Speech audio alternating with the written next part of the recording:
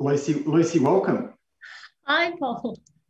How are you? It's more, morning, afternoon where, where I am, morning, morning where you morning are. Morning where I am. So. And late, late afternoon in, in San Francisco. So I guess it depends on where everyone else is in the world. But welcome. And why, why don't we start, Lucy? I think, you know, there's probably a lot of people in the audience who know the Airwallex story very well. There are other people who are less familiar with the story. Let's talk about the story of, of Airwallex and, and I guess how you got to this point uh, from, from, from your beginnings a few years ago. Yeah, so Airwallex was founded in uh, 2015 in Melbourne. And uh, so basically, the story was that my co founders, Jack and Max, started a cafe in Docklands. So most people probably don't know where that is, but it's somewhere in Melbourne. And um, while they were still working full time uh, for the bank, and Max was an architect, and they were importing a lot of products um, such as coffee cups, uh, labels for their cafe from China, and basically found the process very, uh, you know, very difficult and was very expensive uh, for small businesses to transact um, cross currencies and cross border as well. And so, yeah, basically, we teamed up with a fourth co founder and also joined by um, one of Jack's ex-colleagues. So five of us started Airwallex in December of 2015. And we've just really been focusing on um, building uh, financial infrastructure for payments and for businesses to really scale cross-border. And yes, and it's been a hell of a journey since then. It's been a lot's happened in, in, in just yes. over in just over five years. Talk about, I mean, you were very clear um, uh, from day one about a, a building a sort of a global business, a global vision. Let's talk a little bit about how you brought that vision to life over the last five years. Yeah, so I think uh, for the first uh, like six to 12 months, we were really still ex- um, exploring what to do because you know we we knew we wanted to build a solution for businesses, but what does that actually look like? It's it's a bit um, still a little bit unclear. Um, and also you know how do you solve problems that's across regions across you know different geographic um, areas industries as well? Um, so our focus at that time was really b2b tra- transactions and predominantly on e-commerce as well because that's one of the areas that was being digitized the first and also where we saw the most commonalities between the um, customers across the regions as well um, yeah, but then we soon realized we can't just uh, only rely on traditional infrastructure, so i.e. the banks and and you know um, things that were built a little bit earlier than uh, than us. And um, there was also a lot of compliance issues that we want we needed to solve. So um, yeah, we invested basically a lot of time, resources, and money into building our own infrastructure. And basically, as a settlement uh, network, um, and a set of FX engines where we can power our own transactions and we can basically uh, decide how the game is played. And um, so we're not purely relying on um, the legacy technology, but also, I guess, in a way, transforming into something that's more modern and that's more suited for what our customers need. Um, but in saying that, you know, um, you know, banks being exist forever, and um, a lot of our customers still heavily rely on the uh, you know the banking sector for their business needs. So um, I wouldn't say we're trying to replace what is in existence, but in a way, uh, I guess transform it in the, uh, so that you know businesses can really um, you know I guess uh, operate uh, in the modern world without worrying about all those you know uh, difficulties. And, and Lucy, I guess you know, I guess from my perspective, the the the vision has grown and evolved a lot over the last five years, but it's very much stayed consistent with that with that with that original vision. And I guess you've built on that rather than sort of you know pivoting or changing course in any way. Let's talk about the next two or three or four years. What, what's the what's the direction of the business? What is some of the sort of the you know expansion plans going to look to put in place, whether it's geographic perspective, product perspective, customer base perspective? What does the business look like over the next few years? Yeah, so um, like I said, we we really spent the five year uh, past five years, you know, on building that infrastructure, and then, you know, we don't really want to be just an infrastructure company. We also want to really, you know, solve the problem, and that's by you know softwares or um, platform services or solutions. So I think our key focus, um, you know, we still um, want to expand our coverage um, and optimize optimize that infrastructure and the, the product that we have built. But also, um, you know, in terms of geographic regions, we want to expand beyond just APAC because I think we are still quite APAC focused at the moment.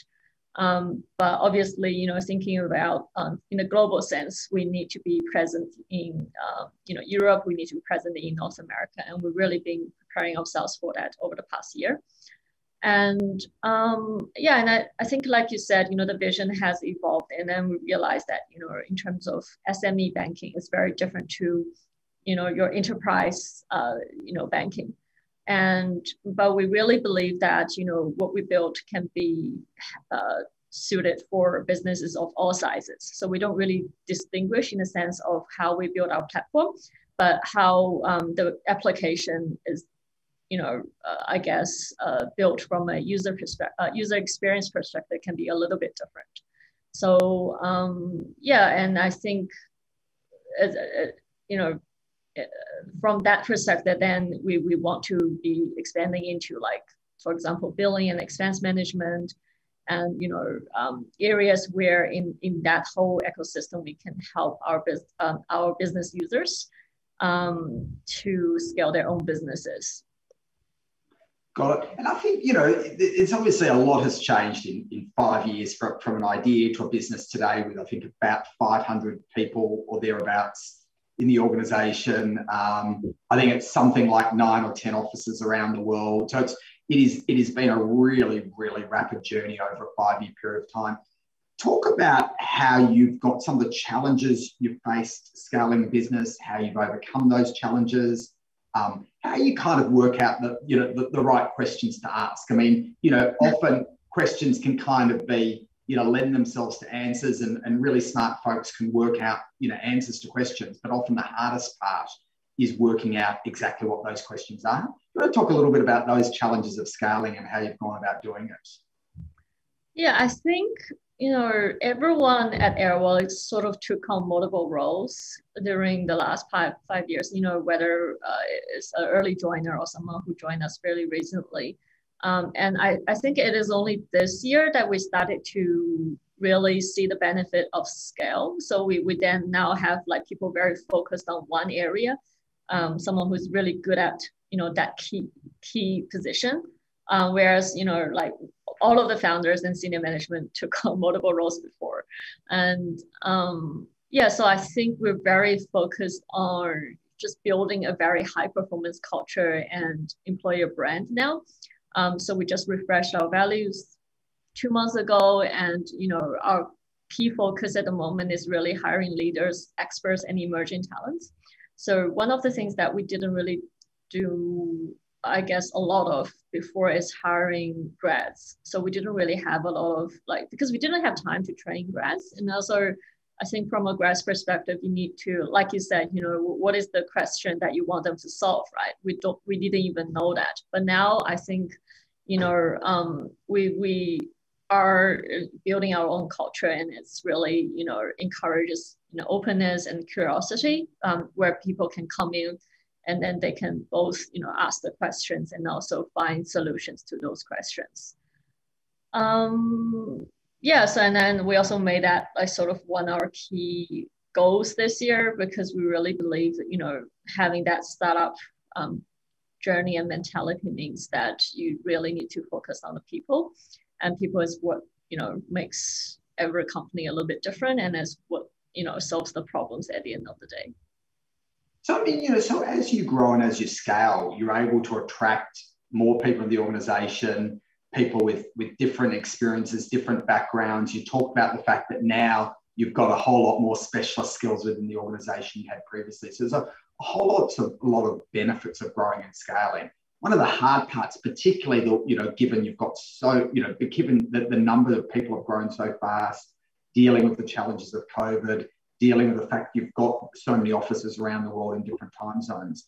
How what are some of the things you've done to sort of maintain that sort of startup culture and that startup mindset that I think, you know, people who know Airwallex really well, you know, kind of see it as, you know, part of the DNA of the organization? Um, so I think one of the things that like we've been doing was that we we've always been sort of global by default. So even prior to COVID, because of all the offices being spread out in different locations, and you know we needed experts from different um, I guess, areas and they just not happen to be where you actually want to hire that role. So we've been quite flexible with where we hire people. So in terms of geographic regions, we are perfectly fine with someone who's really good at what they're doing, but not sitting in one of the offices. Um, but obviously, before you know, you can get them to travel, you can get people to meet face to face. Now it's a little bit harder, but um, Zoom is, I guess, a second best option at the moment. Um, ideally, I think you know face-to-face interaction is still quite important when you're um, growing a company, I guess. But um, yeah, we make it work. Um, yeah, so I think that's sort of how we solve. Uh, that's just how we always been. So it's not like we suddenly transitioned to everyone being online during COVID. Um, so our transition was actually a, quite easy because just you know more Zoom meetings and all. It was less change for for, for companies. But um, and also I think we had the benefit of you know some of the main offices not being areas where there's a lot of restrictions. So our Shanghai office has been operating since March last year. Um, yeah, so I think that's one of the good things. But also, obviously, also comes with a lot of challenges, you know, in terms of you know, working with different time zones. Now we're unable to have a global hands for all of the offices because we have both US and Europe offices. But um, for example, we, we, we basically rotate between different time zones. So there's always, always a friendly time for one of the offices for one of the all hands. And yeah, you keep the meetings, you know, short and you don't, you you know, so people are not like uh, constantly being dragged into different meetings at the weird times. Um, and I think that the, nothing is perfect at the very beginning. Um, and you discover ways to make it work and you, you change like over time. And now I think we sort of found a, not, I wouldn't say perfect formula, but a close to perfect formula where we can make all of the offices work together and have yeah, that engagement. Yeah, great. And, and let's talk a little bit about for you personally. And so, you know, I think you spent quite a few years growing up from memory, Lucy, in New Zealand. Um, you the, the, obviously were living in Australia when the business started. You're now living in, in Shanghai. Talk about the evolution of your role and, and your areas of focus, and also just the dynamic between you and your four co-founders and, and how that dynamics changed. Because I imagine early on, like the five of you were together all the time and discussing every issue. And of course, that's non scalable. One, yeah, one of the great things about having five founders is you can have, you know, quite yes. broad areas of responsibility. But I'd like to firstly just talk a little bit about your role and how how that's evolved in the last five years. Um, I think one of my key strengths is that I'm always quite like I'm not a very stubborn person. you know Jack, right? So I think we, I know we, Jack. We Are you saying he's also not a stubborn person, or you're saying he could be a little bit stubborn on occasion? So I think in terms of personality, we're very complementary, um, and in terms of skill set, we're also very complementary. So um, in the early days, basically, I did everything other than writing writing the the software and, and the codes. So um, from finance to anything and, and funnily, like all of the regulators used to, um, you know, also require you to be there physically. So there was a lot of traveling involved when we are setting up the offices in the early days. Um, uh, thankfully, you know, a lot of places now accept e-signature and video conferences, um, so we don't have to split ourselves into different pieces and ship ourselves over the world. Um, yeah, so there was a lot of traveling involved. Um, Jack and I did most of the business development in the early days, as well as fundraising. So there was a lot of conversation with external um, clients, investors, and that really helped us to um, build on that vision as well, right? Like because in the beginning it's sort of like you you have that vision and you have that goal that you want to head towards but there's a lot of missing pieces in between and all of those things come up when you're talking to customers for example then you realize you know their pain points what they're looking for and in my perspective the best business or corporate development is that you actually can tell the client what they need rather than them you know telling you what you need uh, what they need. So um, there's a lot of those going on. And um, then i sort of became more um, brand and communications focused because we started getting a, a, a lot more attention, um, you know, from the media, from just a brand perspective, you know, um, whether it's, you know, to the public or to employees, um, so to the regulators, and it's it's um, I still remember like uh, it's uh, I spent maybe about six months just handling like risk proofing ourselves and handling crisis and any sort of like negative feedbacks about us. And that, that was probably uh, the the six months that I grew the most because you really realize that it's more than it's not just the glamorous and you know like talking about your business how great we are it's also about you know how to defend ourselves and making sure that you know and a lot of it was misunderstandings, like whether people didn't really understand our business model properly, or you know, someone within the organization said something to someone else. And yeah, so I think that's sort of an area that I just sort of stayed with. Um, but because of all the different entities now we have around the world and the licenses, I still have quite a bit of my time just you know like dedicated to those go to markets and also yeah. like sort of man- managing sort of how do we actually land in the country after we have that um, um, license. But I think that part sort of now became a process, whereas um, you know early days there was like a lot of you know what should we do, how do we do it. Now it's just like okay, we know exactly how to do it because we've done it in like six, seven other countries before, but every country is a little bit different. Um, and we just sort of follow that process and making sure that we have the plan necessary and then we actually execute that plan and we hire the right people. So you talked about the fact that you know being a startup founder, is, there was a lot of aspects of the role that is that, that, are not that glamorous, and certainly maybe not as glamorous as they look from outside. no doubt, we've got a lot of you know budding or potential founders in, in the audience today. Talk to us about what, what's different. What's different about being a founder to perhaps what people who haven't started a company, even maybe people who've worked in early stage businesses but not as a founder. What's different about being a founder to perhaps what you would have expected, or maybe to what other people might expect as sort of as part of the role of a founder? I don't think it's necessarily unexpected, but it's more like, you know, when people ask me, you know, how do you balance work and life? How do you like, they actually always refer to the startup as work or a job.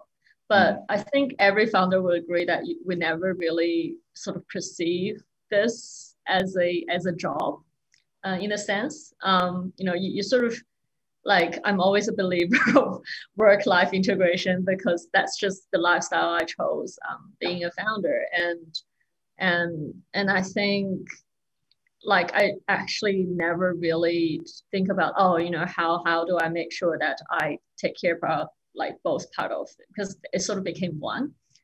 And um, you know, in terms of like founder dynamics, you know, like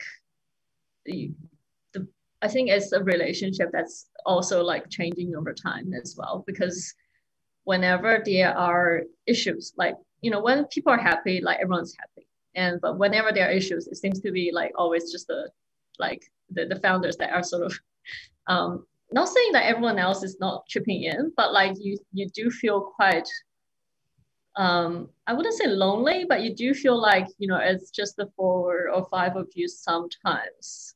Because you're the one who have to make those difficult decisions. And um more often or not, like they are like uh, like the, the whole um your your your I guess your like emotions are sort of like changing over time as well. Um, but there are hope like very very happy moments during the whole journey that you make you think that all, all of this is worthwhile and that this is what I want to do for the rest of my life. Can, can you maybe just share share one of those with us? So if, if, there's a sort of particular moment you can think about where there was a sense of sense of pleasure, sense of relief, satisfaction. I, I think people would really love to hear about you know a, a, specific experience you've had as a founder that's that's really been impactful for you. Um. So I think the basically it's like uh, moments, right, within the whole journey that are the most memorable. Like we don't, we're not a company that sort of look back a little like all the time because um, funnily, like at our fifth anniversary, we were trying to dig out all the old photos and videos or anything, and there's like nothing. so like, working. I actually don't believe it when like companies like Alibaba just all of a sudden pull out like all of those documentaries from like 20 years ago. um, we had smartphones five years ago and we still don't have that many like moments. Now, like I'm very careful, like actually make sure that Jack and I like we, we actually sit down and then document all of those things so that, you know, um, when looking back, there are, you know, memories to cherish. But yeah, right. um, yeah, but so I think, yeah, so I think it, it could be like um, we don't we're not a company that celebrates fundraising, as you probably know. Um, but I think Series A, when we first got uh, money from Tencent and Sequoia, is definitely a, a key moment. Uh, so 2017, um, you know, it was the first time that really we um, sat down and we started talking about three, five-year plan. Because you know, as a startup, it's very hard to predict what's going to happen in three years. So we never really had a three-year plan. Um, but in uh, 17 we did, and our goal was to be a unicorn in 19, which we made it. So Absolutely. yes, uh, Jack's ugly unicorn like drawing is all over Airwallex's private channels because uh, we didn't like. It's not like we didn't think it's gonna happen. We just sort of didn't really make it the goal because the like business objectives are always like product launches or like user numbers or um, you know it's very data driven it's very specific um, whereas mm-hmm. becoming a unicorn is sort of the result of it right because you're doing yeah. something well you reach that valuation but um, it was still quite like i guess in a way satisfying to know that you know we've done something right um, sorry yeah yeah keep going yeah. No, so let's talk. I mean, you touched on on Tencent and Sequoia, and they both participated. And Tencent led the Series A, and Sequoia, Sequoia China participated in the Series A. And you've built a, a, an amazing cap table of investors. It's been really it's a diverse cap table in terms of types of investors, um, in terms of geographies of those investors, in terms of even the sort of areas of focus and stage that they. So it's a really it's a really really interesting cap table. Um, what what have you learnt? what, what firstly, what have that group of investors brought to you? How, how have they contributed to, you know, the, the, the, the story? But also, what have you learned about capital raising that, again, may not be so obvious for, for people who haven't done as much of it as Airwallex has? Mm, so I think in terms of capital raising, right, um, we, um, like, I guess we were always quite strategic quite strategic in terms of who we take money from. And we're also quite, I guess, um, like we always sort of knew at different stages who to go to or like who uh, someone that we probably so investor chemistry is something that's very interesting because we feel like it's not just about the money um, and the tempo is also very important because i think the first two or three times we were raising, we were cutting it very close. And it was also during Christmas, and it was like things can go like so many things can go wrong one month prior to actually, you know, like closing the deal. So, um, yeah, so we learned our lessons. So now we're very structured about how we raise. But I think prior to, I would say, Series B, it was more about the team and about um, the vision and what we're doing and about like the whole landscape you know whether the market is big enough and whether you are someone who's going to you know succeed in that market whereas i think after series c it's more um, data and, and we became a more data driven company as well. So a lot of it always about metrics and numbers. And that's how you actually can manage a team of five or a thousand people because it's not just about, you know, what do we believe in anymore. About, you know, what did we do right or wrong and how we're heading towards that goal. Um, but I think I still think we're very fortunate to have the investor base that we have. Um, board meetings was not easy in the early days when we had no revenue, but um, um, but I think we uh, think you know luckily enough our investors have always been quite supportive. Um, I would say adding big names helps with banking relationships as well as regulatory um, requirements, just because you know it's, it's just how the world runs, right? Like you yeah. need trust and you need um, to be able to demonstrate that you have that trust from multiple, um, you know, like areas. Whereas, um, yeah, it was a lot more difficult when we didn't have um, the investors that we had um, after Series A. Um, yeah, so I think now it's just part of business as usual. Um, but obviously, we're now like um, looking at um, how we can, I guess, accelerate. So we, you know, from I think Series D onwards, we also started to think about whether we can um, start to do some M and A's instead of doing everything ourselves. But um, that's sort of something that we, we, we, we, we've had, we've been planning on, but um, haven't really had any um, news to share yet. Let's talk about not a lot of people in the audience won't be that familiar with, with the Australian technology ecosystem. Um, you know, we've seen companies like Atlassian, which is obviously you know an older an older company, but now I think a 60 or 70 billion dollar market cap. Canva, Airwallex, so a number of companies. Oh, can I actually ask one question? because people probably will you're investing in us as well. So I actually want yeah. to hear about, you know, like, you know, probably people will be curious about, you know, how we met and, you know, what, yeah, I mean, I, I, made you invest in us. yeah, well, it's interesting. I mean, you know, we were we were introduced to Jack, and Jack and I met, and then Lucy, I think you and I subsequently met. And because you came into the our cap table at a very special time, I would say. We we came in. It was just there was an extension of the Series A, so it's just after Tencent yep. and Sequoia and, and and others had come in. Um, it was still pre-revenue. I think it was about a year a year before launch from, from memory was was when we came in. Um.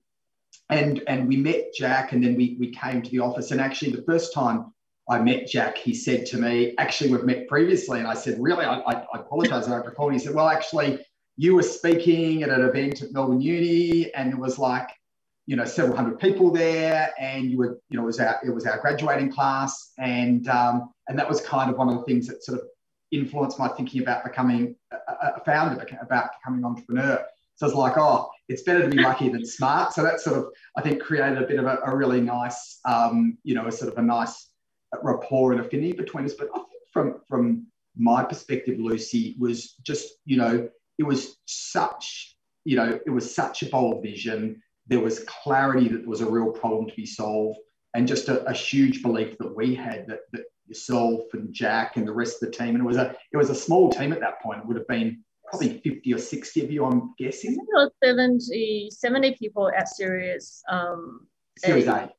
So it would have been 80 or 90 probably then. And just a real, real belief just when after we met you guys is like, wow, this is this is a I remember going back at, at our partners meeting the, the, next Monday saying, we're going to invest in these guys. It, it's amazing. And, and obviously we feel very lucky on the journey.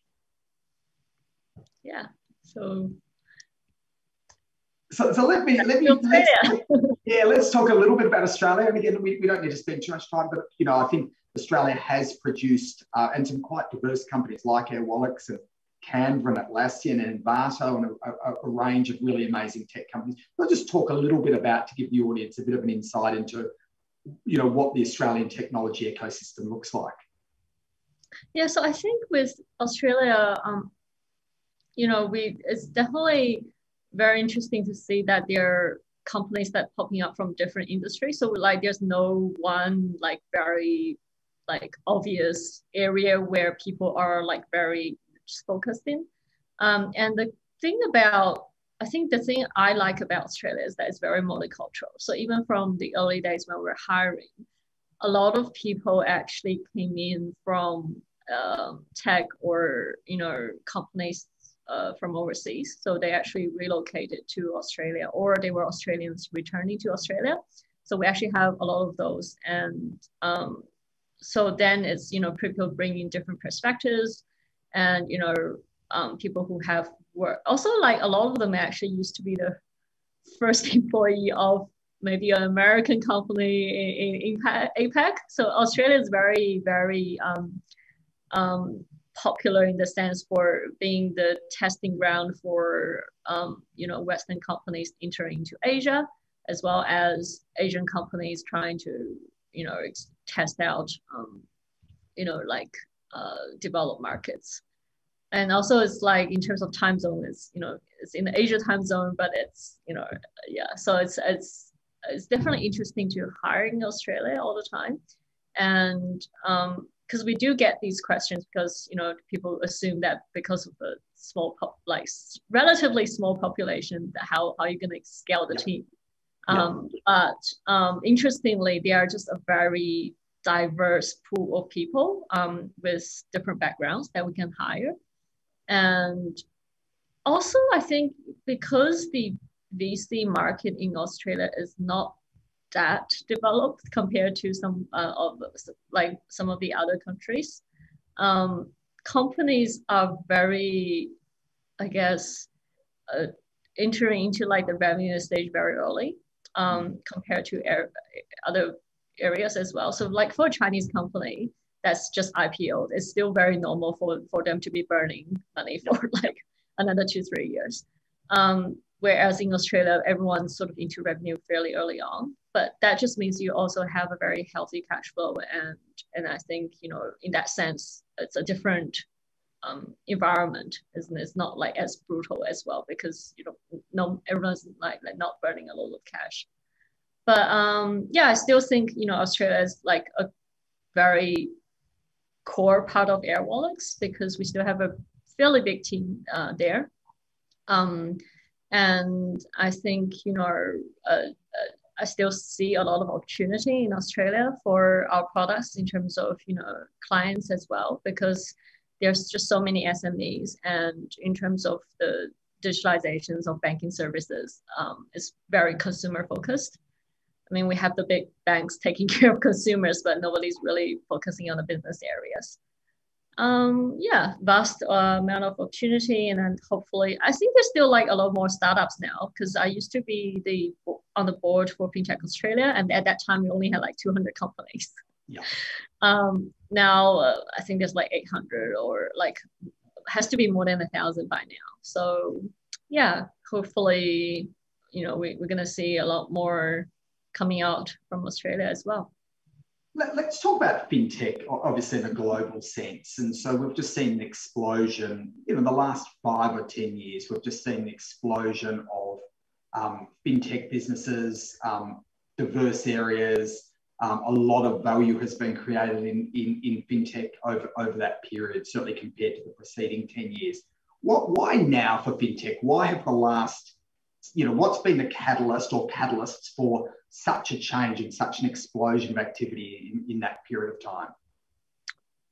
So I think, um, you know, obviously the evolution of like technology itself has sort of fueled most, like most part of like any sort of technology, whether it's fintech or um, you know other types of tech. So we're talking about you know uh, cloud computing and also people moving on mobile. So obviously it means then a lot of things are contactless and people are looking for that more like seamless experience like nobody wants to walk into a branch for banking anymore because it's just time consuming it's you, you want things to be ready and there's this urgency of things being at your fingertips mm-hmm. um, so uh, i guess uh, I'm probably going to be a bit more specific because fintech is very big. So like if we're going to all areas, then it's a little bit different. But specifically to payments and to what Airwallex is doing, I think is really that the digitalization of businesses. So you know we're thinking about you know in the old days when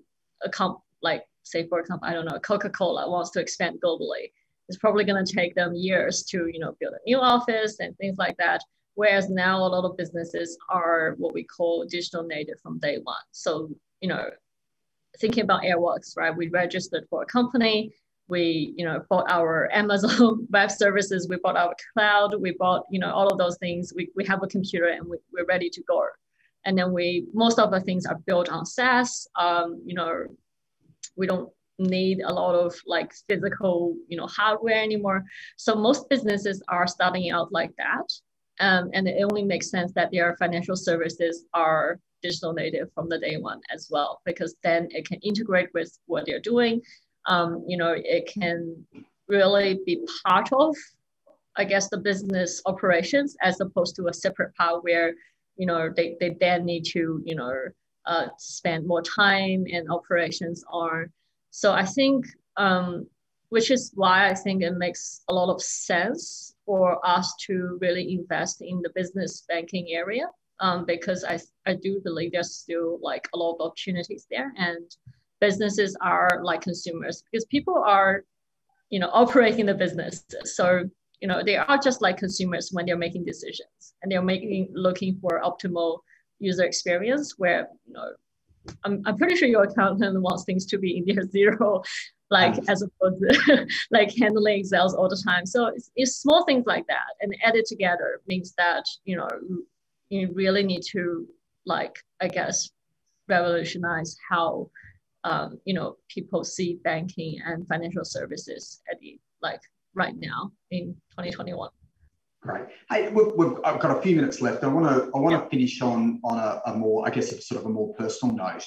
Um, you're sitting down talking to Lucy today. Is talking to Lucy five years ago, and and and giving some advice about you know how to how to start a business, how to grow a business. What advice? What advice, given now everything you know and all the experience you've had, what advice would you give to yourself starting out the journey five years ago? So I think like I've always been very competitive growing up, but I'm not probably not the most confident person. Um, like uh, you can imagine like someone who has skipped a grade in high school is probably not going to be the most popular kid, right? Um, but I think like over the past five years, I've just made so many friends and partners um, in business. And I think, you know, it, for the younger me, like, um, I would say that, you know, just go along with the ride and, and, probably embrace the change because I'm a little bit um, like like OCD about my life sometimes. Like I really like to plan things out. I've like I'm I'm like having a it's almost like I have a business plan for my life. and you can imagine it's probably not gonna go always go as a plan. And so I don't do that as much anymore. Like I don't say like I'm gonna do this by certain age or like um I'm gonna be like someone um, in five years time so yeah because there's just so many things that could be different every day and also the external environment like who knew like we're going to have such a big pandemic in 2020 as well so yeah so the advice to the younger me would be to just take it easy and uh, not uh, try to let let go a little bit more and um, embrace the change and don't like suffocate myself by you know like trying to making sure everything is in order and trying to be so controlling because yeah how, how would you grade five years, five years in how would you grade yourself lucy give yourself a good grade i think pretty good um pretty good i mean i start up i have like I call my daughter my second startup because it's just like starting over. over now, again. How old is she? She's two. Uh, she's two and a half. Two and a half. Two and a half.